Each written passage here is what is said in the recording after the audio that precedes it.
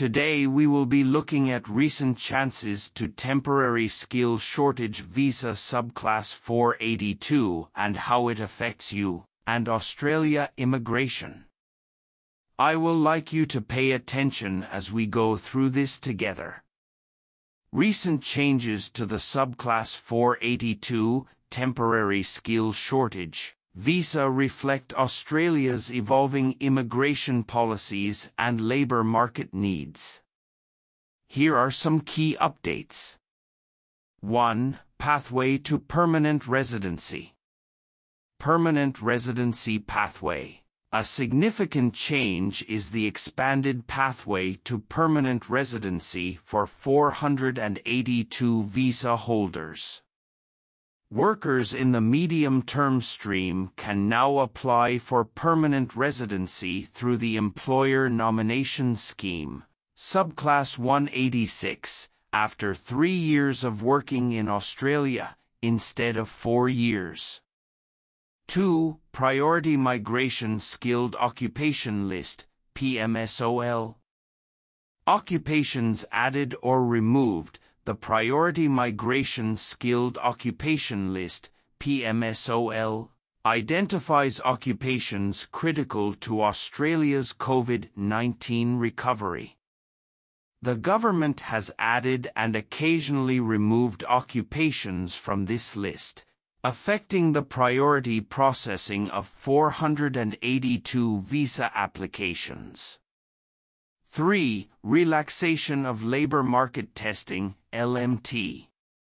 LMT exemptions, in certain circumstances, labor market testing requirements have been relaxed or exemptions have been introduced, particularly for employers in regional areas or for occupations listed on the PMSOL. 4. Regional incentives. Incentives for regional Australia to address labour shortages in regional areas. The government has introduced incentives for employers who sponsor workers to live and work in regional Australia. This includes additional points for skilled migration and extended visa durations. 5. Changes in visa duration and renewal. Visa duration adjustments, depending on the stream, short-term, medium-term, or labor agreement, there have been adjustments to the duration for which the visa can be granted. Short-term stream visas may now be granted for up to two years with an option for renewal, whereas medium-term stream visas may be granted for up to four years with a pathway to permanent residency. 6. COVID-19 concessions. Concessions for affected visa holders due to the COVID-19 pandemic. The Australian government introduced concessions for visa holders who were unable to meet the usual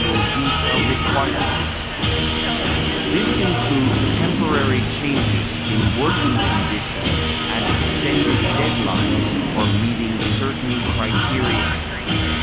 7. Increased focus on Australian workers.